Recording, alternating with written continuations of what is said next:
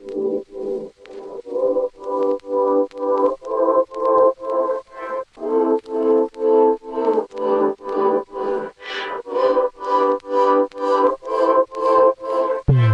sebagai ketua program untuk Event Creative Poster Designer berharap agar partisipan mendapat ilmu-ilmu yang kami ajar hari ini. Kita dapat mengaplikasikan ilmu yang kita ajar ni di dalam atau di luar UiKM.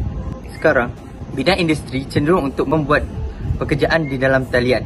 So, skill-skill yang kita ajar hari ini kita boleh diguna pakai untuk di dunia pekerjaan nanti.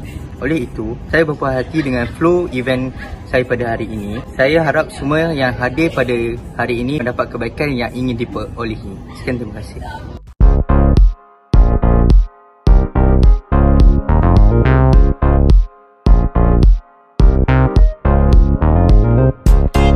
Okay, apa yang saya dapat daripada bengkel hari ini ialah pertama sekali untuk menjadi lebih kreatif dari segi penyusunan poster itu sendiri. Kemudian penggunaan um, penggunaan font ataupun size font itu sendiri.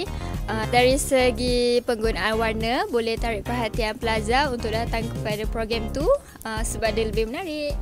Okey, itu saja. Terima kasih.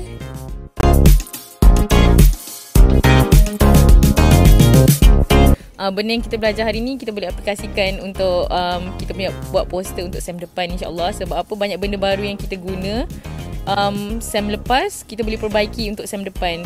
Um, contoh macam warna apa semua. Sebab um, untuk pastikan SEM depan uh, kita punya poster kelab ke kelas ke semua lebih menarik lah untuk pelajar tengok nanti.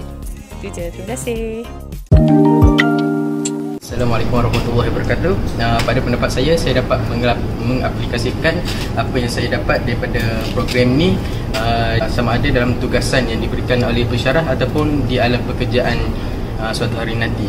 Uh, selain itu, program ni dapat uh, menambah banyak ilmu pengetahuan baru yang saya tidak uh, pernah pelajari sebelum ni.